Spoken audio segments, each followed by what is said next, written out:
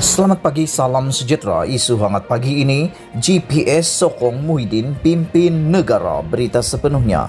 Gabungan Parti Sarawak GPS kekal memberikan sokongan kepada Perdana Menteri Tan Sri Muhyiddin Yassin untuk menerajui kepimpinan negara. Pengerusnya Datuk Patinggi Abang Johari Abang Openg berkata, keputusan itu dicapai sebulat suara pada mesyuarat Majlis Tertinggi GPS hari ini. Mesyuarat hari ini diadakan khusus untuk membincangkan situasi politik semasa, khususnya yang sedang berlaku di Kuala Lumpur.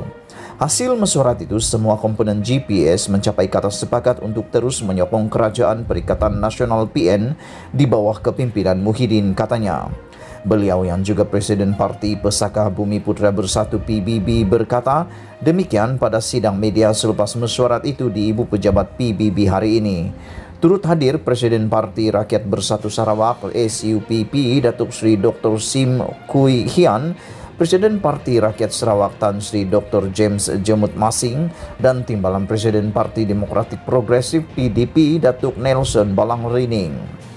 Rabu lalu, mesyuarat ahli, ahli Majlis Tertinggi MKT AMNO memutuskan parti itu menarik balik sokongan kepada kepimpinan Perdana Menteri berkuat kuasa serta-merta.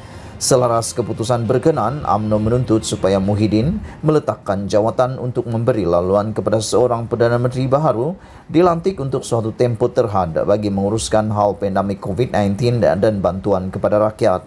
Abang Johari berkata, pada mesyuarat itu GPS turut berpendirian sekarang bukan masa sesuai untuk berpolitik kerana ia boleh menggugat kestabilan. Sekarang masa bagi semua rakyat bersatu bagi membuat negara keluar daripada krisis pandemik COVID-19 katanya. Berita dari BH Online. Sekian isu hangat petang ini. Jangan lupa tekan butang subscribe dan kita jumpa lagi. Bye-bye.